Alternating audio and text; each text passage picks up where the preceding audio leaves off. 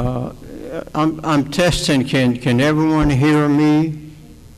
So, Everyone, everyone hear me? yep, that's Okay. a yes. Okay. We have to keep the lights on so I can read my manuscript. So I think you can still see the images on the screen. But since we have a small crowd, speak up, and correct me if anything is, is wrong. And also, you are not a captive audience. If you want to leave, leave, you won't hurt my feelings. Now, I am Merrill McCord, and that's the cover of a book I wrote. There we go. And this is my grandson Peyton, who's going to operate the slides. Tech guy today. Nell O'Day. Nell O'Day had so many different talents and entertained and worked with so many different generations in so many different places, including abroad, for so many decades that many generations knew her for only one or two of her many talents. And because of her continually evolving talents and continual changes in locations to live and venues to work, the histories of entertainment couldn't keep up with her. And that included the records of the golden age of the dance, as well as the arts of motion pictures, Broadway, prologues, vaudeville, summer stock, radio, television, and on and on. So, we hope to put her life in perspective and prompt a broad recognition of all of her talents and greater appreciation for all of her contributions to the wide, wide world of entertainment. Nell herself will actually help us do that because she left behind her personal collections of family and professional photographs, along with letters and papers in which she described her life, her careers, and the times in which she lived. And her last closest friend, a gentleman named Robert McKay, has shared all of this material with us. In fact, many of the photographs that you will see today came from Nell's personal collection. Nell made her first debut thousands of miles away from the limelight that would engross much of her life. She was born Mildred Nell Roach in September 1909 in a small community near Dallas, Texas. At four, she wanted to be a dancer and, at, and an actress. And at five, she was put upon her first horse to ride. When Nell was eight, her family moved to Los Angeles. By the time she was nine, as shown in this photograph, Nell was dancing and entertaining her playmates and shows on the front porch of her home in Pasadena. By the time she was 10, she was taking ballet instructions under such legendary teachers as Martha Graham and Ernest Belcher. By the time Nell, who is seen here at left, was 16 or 17, she was dancing at the Hollywood Bowl and doing ballet bits in motion pictures. In one of her many letters written during the 1970s and 1980s, she recalled dancing in films featuring major stars like John Barrymore, Dolores Costello, and Colleen Moore.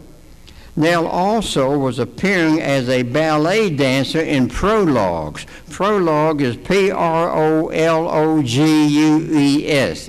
Prologues were live stage shows performed in major movie theaters before or between the screenings of the motion pictures. throughout this very busy period of her young life, Nell managed to keep up with her academic studies and to graduate from high school with high honors.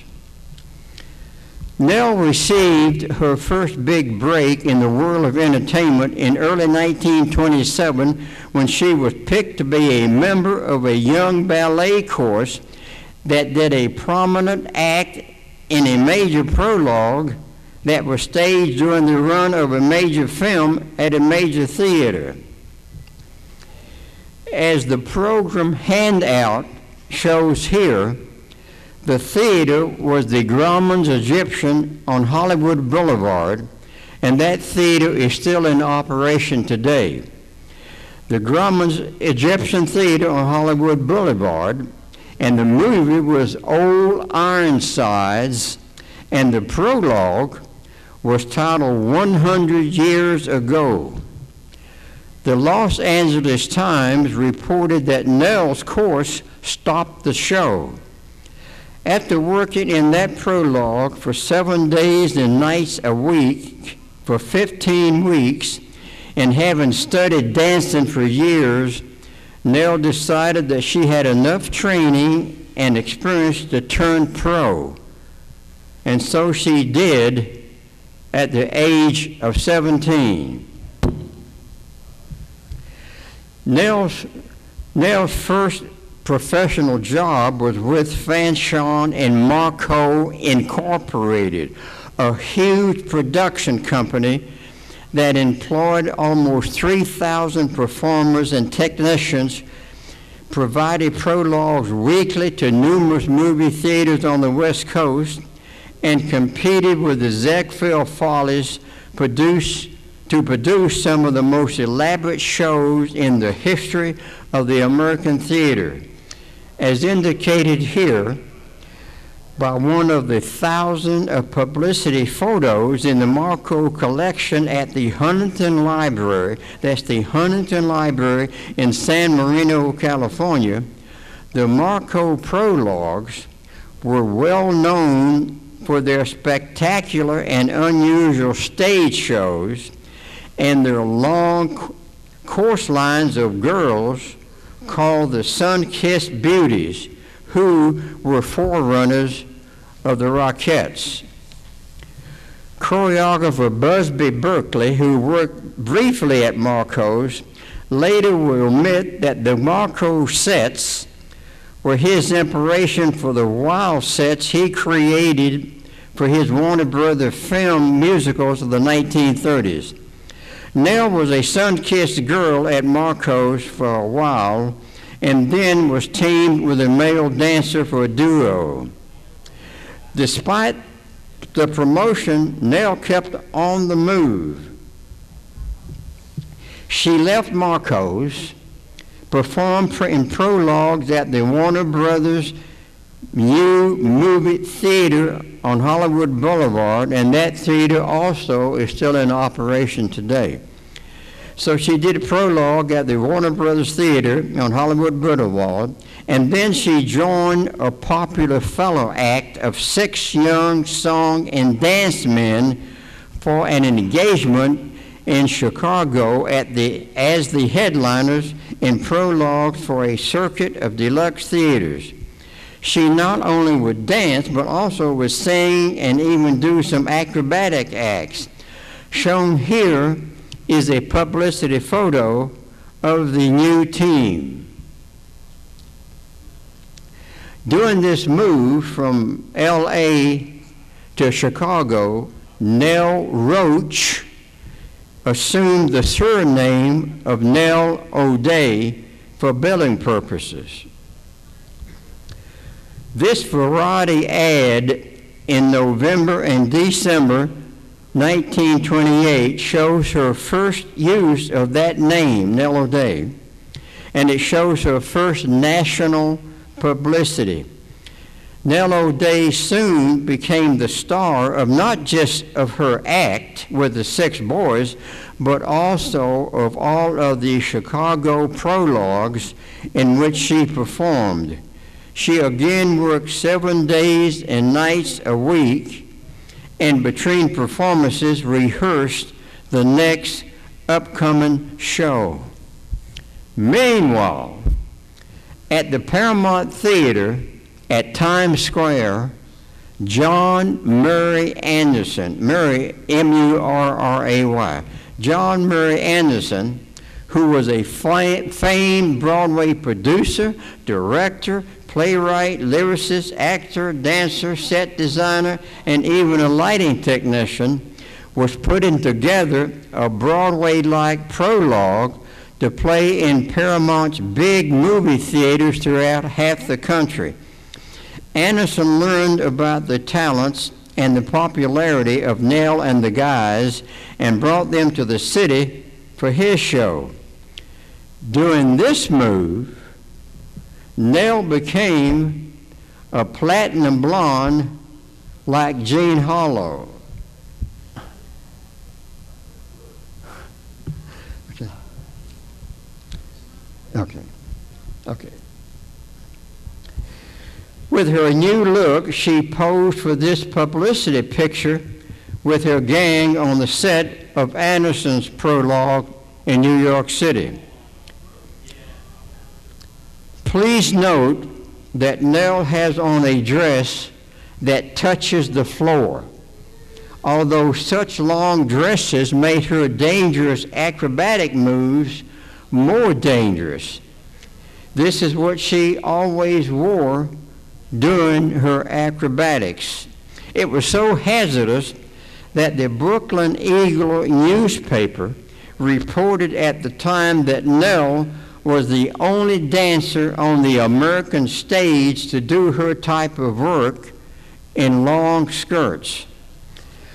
While Nell also sang and danced in the numbers for the six boys, it usually were her acrobatic performances that brought on lavish praise and admiration from reviewers and screams and loud applause from audiences. The Paramount prologue opened in New Haven in early 1929 and remained on the road for almost seven months, going from city to city from the northeast to the southwest as far as Texas where Nell celebrated her 20th birthday in her native state. Nell again became the star of the show and received outstanding reviews everywhere she went. Throughout the tour, local businesses and groups tried to entice or hire the popular Nell to promote their products and causes. For example, in this photo, she is trying to get the attention of the press to a new airplane flight tutor machine that was being demonstrated by the innovator at an air show at the University of Pittsburgh Stadium.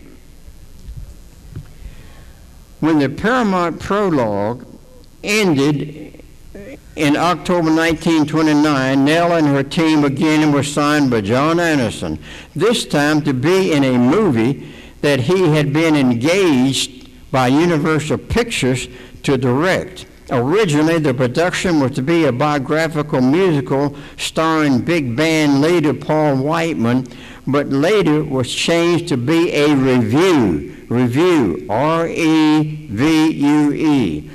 Revue, like the Ziegfeld Follies, consisted of a series of unrelated entertainment acts. The movie was named King of Jazz after Paul Whiteman's professional nickname. And the climax of the film was the playing of Rhapsody in Blue, which Whiteman and his orchestra had premiered in 1924. In the, pro, in the photo here, Nell and her guys are performing one of their acrobatic acts in late 1929 on the Universal lot for studio publicity photographers. And there's another one of those long, dangerous dresses. This one even has pleats. The team did three song and dance and acrobatic numbers in the movie, and Nell received glowing close ups during these three routines. Unfortunately, however, as Nell revealed in a 1977 letter, film footage of 72 bars of music were cut out of her big production number before the film was released.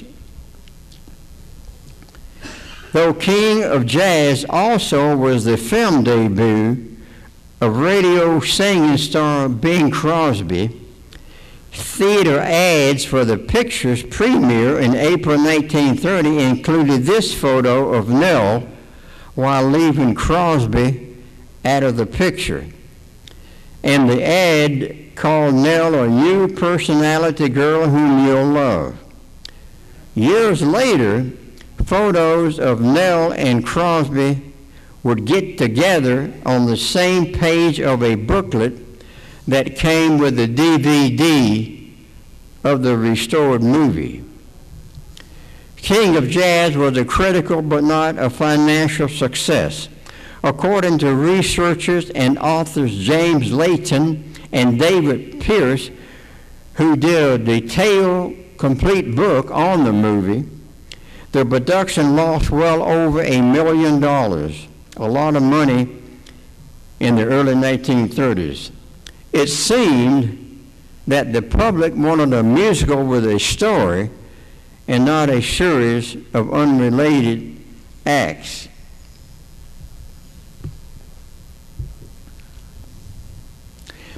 After Nell and the, after Nell and the boys completed their commitments for the picture in January 1930, they returned to New York to work six months for the Loew Circuit of Movie and Vaudeville Theaters.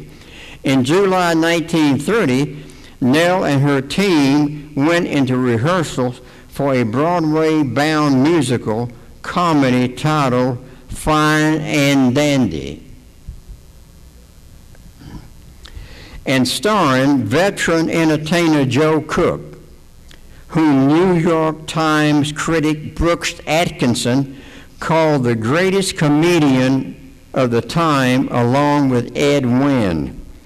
The play became a big hit and kept Nell and her associates busy for 15 months.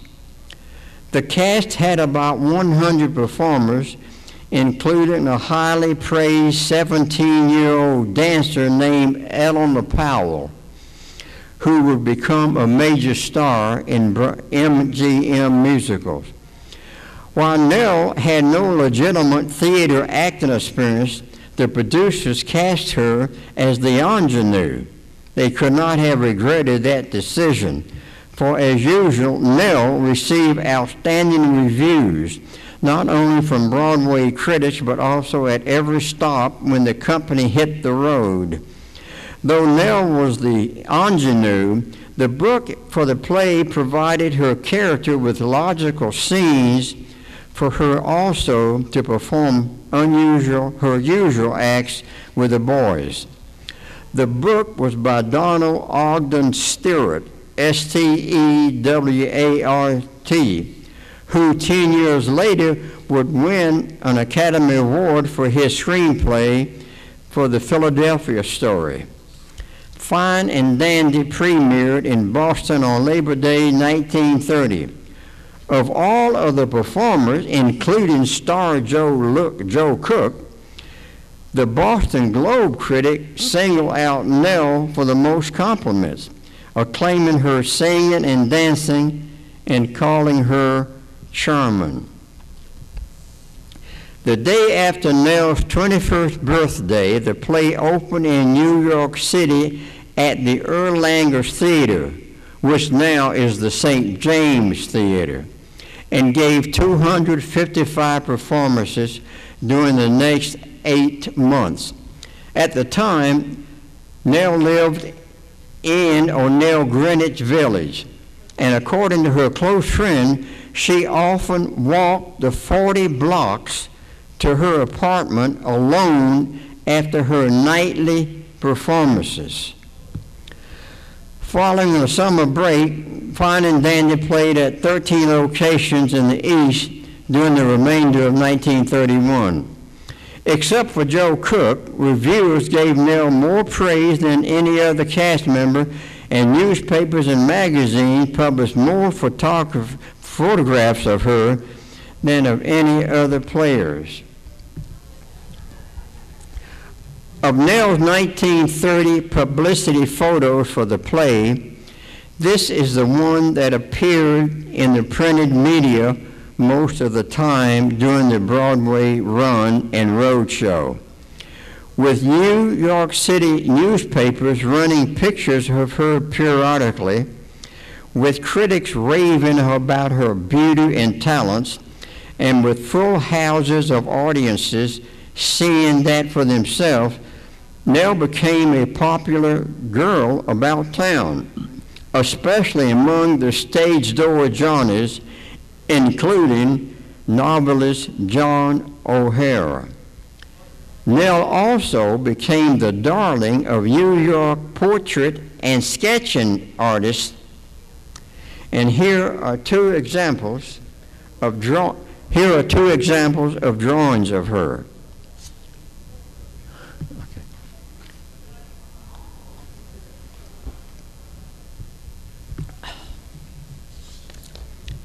1932 brought Nell back to reality. It was not a good year for her, and it also was a heartbreaking year for professional stage performers of all kinds all over the country. The year actually opened with Nell and her gang hilarious, for they had been invited to appear in a revue in London and were free to go. However, their happy, high expectations were short lived because at the time, the British Actors Equity and the U.S. Equity were not getting along. England not only were denying requests by American performers, including Nell and the Boys, to work there, but also was ordering American performers already there out of the country. Looking back at that incident in one of her letters, Nell would write that being denied the opportunity to perform in England at that time and seeing the country before World War II was the greatest regret of her career. Disappointments continued. The Great Depression and the growing popularity of radio and sound motion pictures were keeping people away from stage shows. Vaudeville houses were closing or switching to films, and movie theaters running prologues of vaudeville acts were replacing those with inexpensive but popular amateur talent contests. Only seven shows were surviving on Broadway, and even officials at the famous Temple of Music, Carnegie Hall, were considering converting that place to a movie house. Headlines in Variety told the story at the time.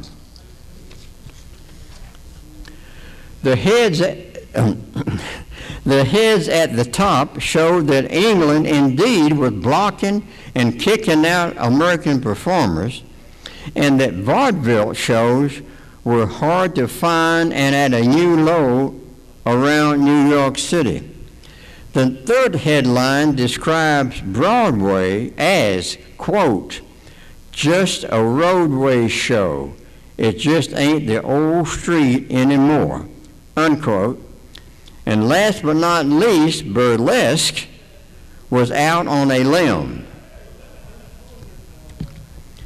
With platforms for the feet disappearing before their eyes, Nels and the boys had no choice but to go separate ways and search for new careers.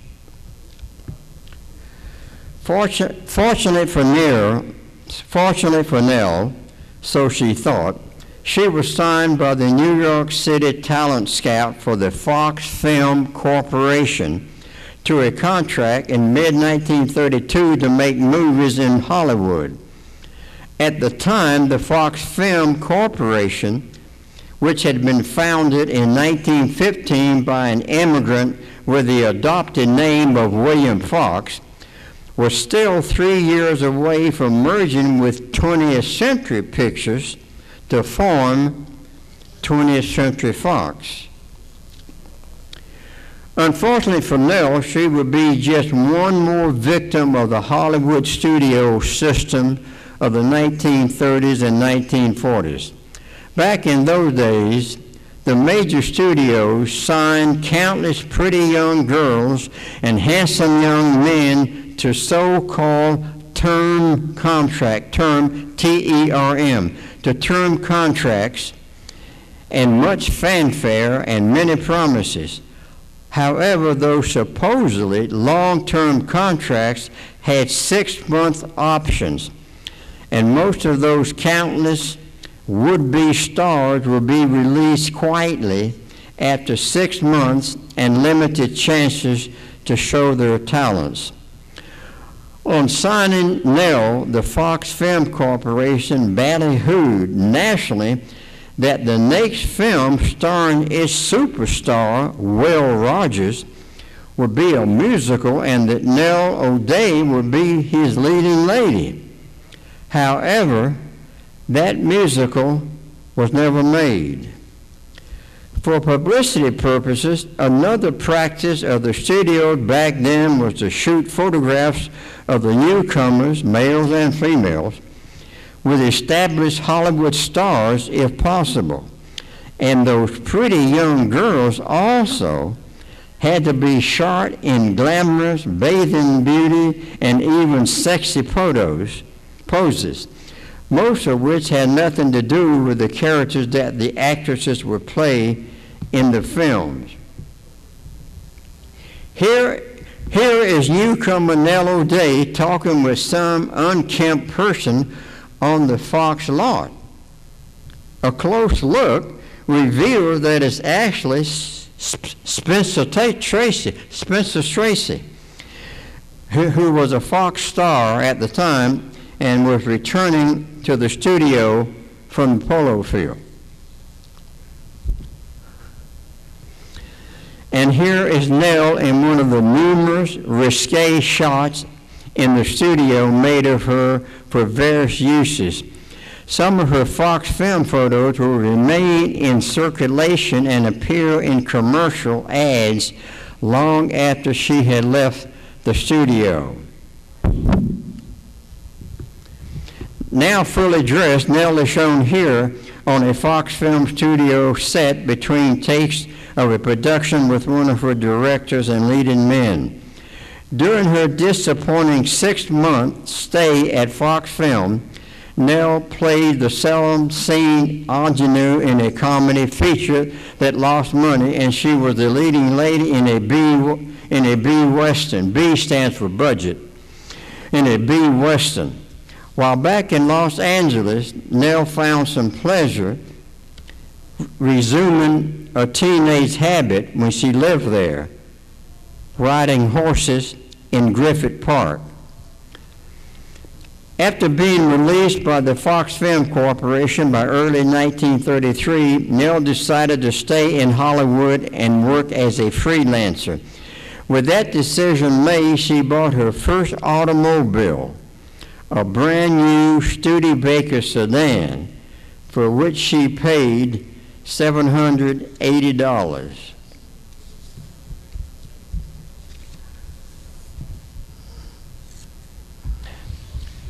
During 1933, Nell played the leading lady in four short films, one of which is pictured here, starring comedian Harry Langdon, a superstar of the 1920s who was trying to make a comeback.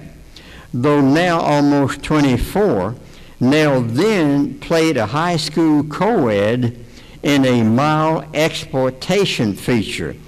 She ended the year at MGM in a drama feature, but viewers blinking their eyes more than once or twice might have missed her little scene. Having gone from being the toast of Broadway to a film bit in Hollywood, it was time for Nell to return to the East, where she was respected and treated like a star. During this move, she became just a plain dark brown. By early 1934, Nell was back in her element, the stage, and is seen in this fading 90 year old snapshot. She was back walking on Fifth Avenue. That is Nell at right. Broadway had recuperated, but prologues and vaudeville had not, except for vaudevillian superstars such as Kate Smith, Bob Hope, and the Marx Brothers. However, there were some new kids on the block. There had been grand openings of summer stock theaters throughout the Northeast, and Nell would become a star and even a coach at those places. Major regional stage theaters were being used for so-called tryouts, that is, premiering plays to test their potential for Broadway. And Nell was in those too. During this 1934 through 1939 period of Nell's life in New York City, she demonstrated more of her different talents and worked in more different venues than in any other period of her career. After a futile attempt to help review, to help revive vaudeville, Nell performed in two successful plays on Broadway, several shows on the road and in regional theaters, and countless summer stock productions in Connecticut, Pennsylvania, Massachusetts, Rhode Island, and New Jersey. One of her summer stock roles was the ingenue in the, in the Pulitzer Prize winning Our Town, Our, O-U-R, Our Town, opposite is playwright, Thornton Wilder. When not on stage, Nell was back in front of movie cameras, appearing in two motion picture features and three short subjects. And here too was a new kid on the block, at least for Nell, something called industrial films. They were predecessors of today's infomercials and likewise were financed mainly by commercial companies to promote their products and services. In one of her letters, Nell estimated that she made about 15 industrial films some of which were to be shown at the 1939 New York World's Fair. Also, during this busy period of her life, Nell made her debut on radio and was invited to perform at benefits and to dance at a New York City high society ball. And she began spreading her wings, becoming a Broadway first nighter a Renaissance activist, and a student of the histories of cultures and the arts. However, she found time to ride her beloved horses in Central Park and to get married. Her husband, Ted Fetter, Fetter, F E T T E R, her husband, Ted Fetter, was a popular Broadway lyricist, a cousin of Cole Porter, and a member of the elite Broadway circles. Nell was accepted by those circles during her marriage, but she would end the marriage within a few years because her husband wanted her to stop working and criticized her talents. Nell's first Broadway show this time around was a drama with an unusual plot about religion. It was directed by Lee Strasberg. In her next Broadway production, a social revue of sketches, songs, and dances, and directed by our old friend John Anderson, Nell played nine different characters and, as seen here, did a special dance with Gene Kelly.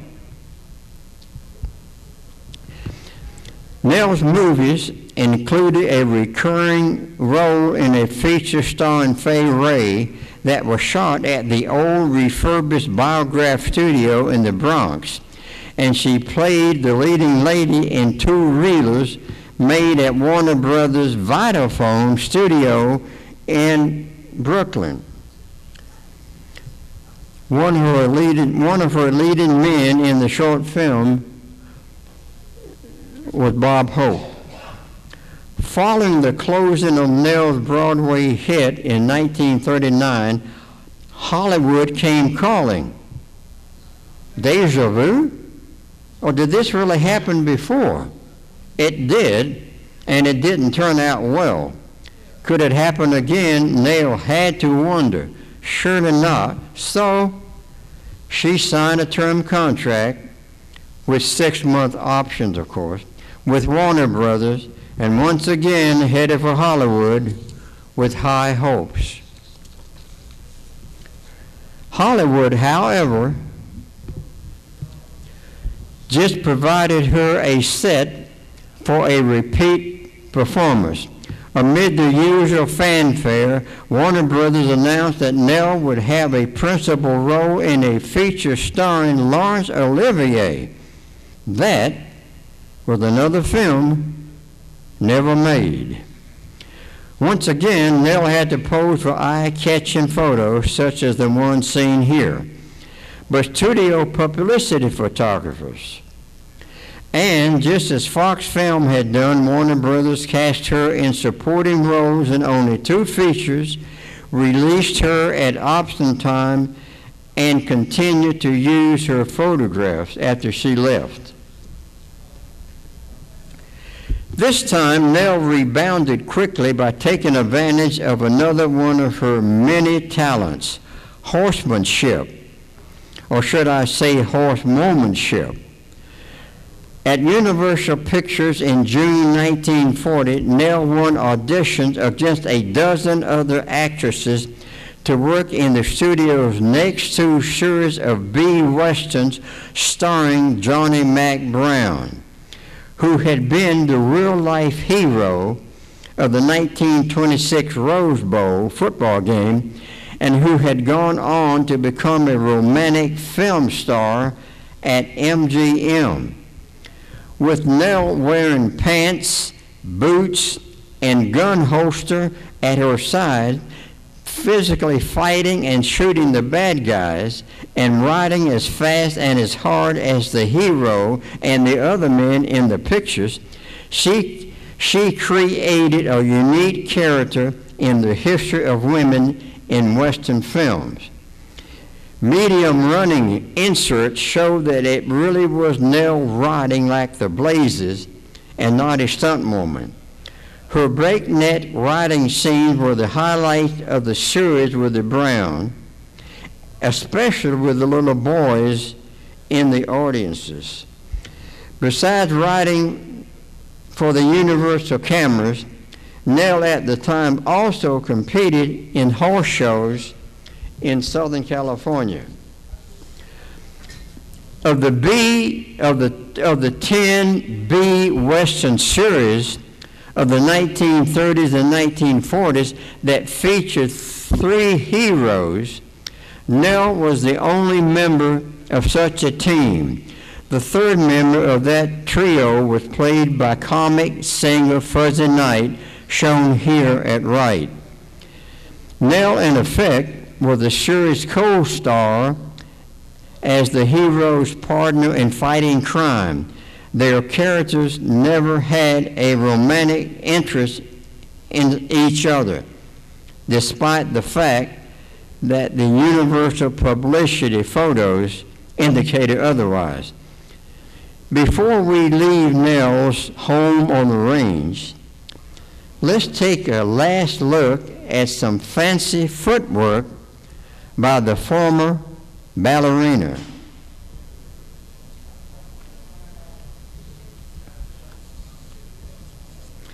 In addition, in addition to her Western with Brown, Nell also worked in non-Western features with Universal's other stars, such as W.C. Fields and Deanna Durbin.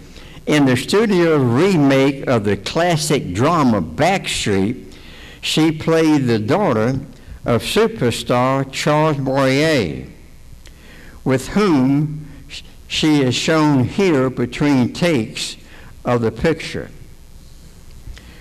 With the future of the economy and the motion picture industry unclear because of the threats of war, Universal did not renew the contracts of many of its players until the end of 1941, including W.C. Fields, Edmund Lowe, Hugh Herbert, Helen Parrish, and Nell. However, Nell had had her Universal term contract renewed twice and had worked at the studio for 18 months, an unusual length of time for Western film girls. Nell remained in Los Angeles for four more years, during which time she experienced the full spectrum of emotions. On the high end, she married again, this time to a Hollywood supporting actor, Larry Williams. On the tragic side, her mother was fatally injured on a Christmas Eve when she was hit by a car while crossing a Los Angeles intersection. Although Nell's film jobs were limited during the early 1940s, she kept busy with volunteer work for the USO and charities dedicated to the war effort, and with writing screenplays and magazine short stories with her husband. Back once again in New York City in 1946, along with her husband, this is Nell at the age of 36. She worked in a few more industrial films, appeared on radio programs, and was involved in some of the episodes of the historic television show Hourglass, Hour, H-O-U-R, Hourglass, which ran from May 1946 to March 1947. At that time, New York City had three pioneering TV stations all with limited broadcasting ranges. Nell and her husband continued writing magazine short stories, some of which were adopted for television. They became well known in literary circles by hosting gatherings of writers and would be writers at their Greenwich Village apartment. One of their frequent guests was a young J.D. Salinger, the future author of the celebrated novel the catcher in the Y, in the rye, R-I-E. The couple continued most of 1951 researching and writing a biographical play about a historic British patron, his wife, and their unusual Victorian marriage. Nell and her husband then spent much of 1952 in England overseeing production of that play which opened at, the, at London's Royal Court Theatre. The opening really was the grand reopening of the theater following its restoration from damages caused by bombing during the war. With some rewriting, the play became a hit. Back to New York once again, Nell landed a leading role in the Westinghouse Studio One TV show her husband's short stories continued to be adapted for television, and jointly they wrote a play for a television program. During the mid 1950s, they lived off and on in Rome and Sicily, together at times, separately at times. After their final separation, Nell alternated living and working in Italy and New York City until she decided in the early 1960s to move back to her hometown, Los Angeles, to live the remainder of her life. There, she started a successful writing and editing services and was rediscovered by fans, researchers, and the media. We got to wrap up. During her apparently last uh, public appearance, shown here, Nell was honored at the annual 1984 at the 1984 Cinecon Film Festival in San Francisco. She died in early 1989 following a long illness. Though Nell wanted no services of any kind, a longtime neighbor and friend, in effect, gave her a memorial with the following words in a letter to another one of Nell's close friends.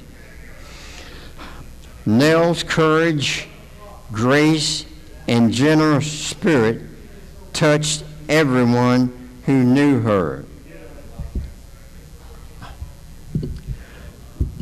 All right, now that ends the presentation, and you're welcome to leave, but if, you- if any of you, do any of you have questions at all, raise your hands.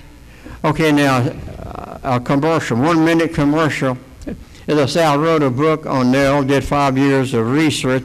I- I will have a table at some point in selling books that I've written. I've written books before related to the movies.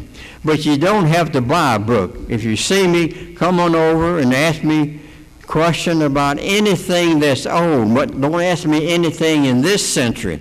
But anything in the last century about all kinds of movies, music, World War II, anything, uh, ask me because I was around and I, I enjoy talking to you. So just come by and just say hello and talk and maybe we have a good time. Again, I'll, I'll be around here a few minutes if any of you have questions. And thank you so much for coming because Nell O'Day, as you know, is so unknown today. I, I would not, I didn't know whether anyone would show up. So thank you so much. You've been a very attentive audience. Thank you.